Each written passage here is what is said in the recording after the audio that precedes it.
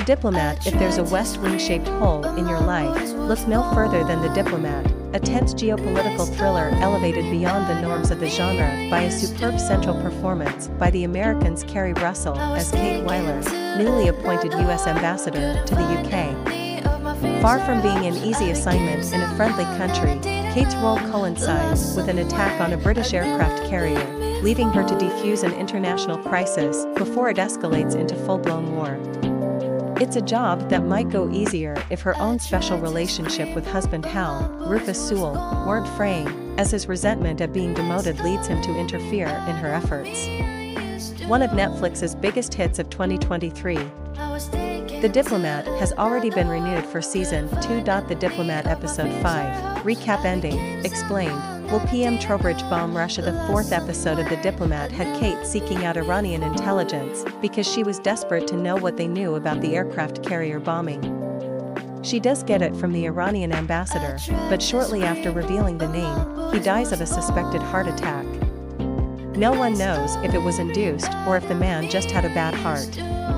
Austin and Kate have just come across a crucial name behind the attack, all they must do is work around it and find out how to get hold of the man and the people who hired him, who mostly seem to be Russians.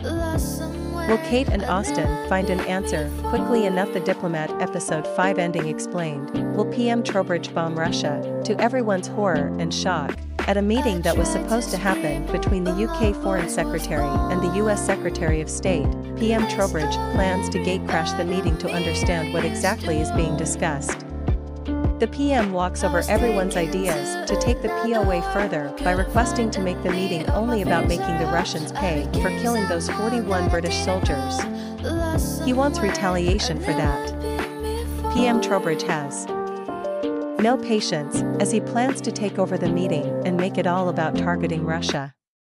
Though Kate and Austin again try to reason with him on why going on a warpath against Russia is bad news, the man is relentless, and all he wants to hear is when they will do something of substance to rattle Russia. Park lets Stuart know that the US and the UK cannot blindly accuse Russia of anything without solid evidence.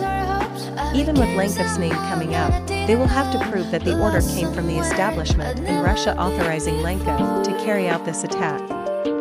The PM is again hell-bent on going after Russia to make sure they pay for the crimes they committed. The PM is not easy to work with.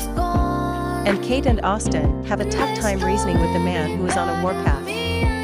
Kate is trying hard to find a solution to the problem, which is when Hal walks in and possibly gives her his green light to pursue a relationship with Austin because he knows Austin is a widower and would like to have a woman like Kate next to him, loving and constantly challenging him. Kate, though, is in no mood to hear his condescending talk about Austin.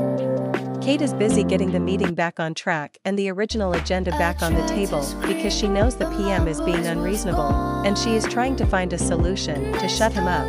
Kate is hoping to put some sense into the PM and says that a travel ban on Russia and its citizens would be a way to send out a message. This is not agreeable to the PM again because he wants a foolproof plan to be worked out to shake Russia to the core.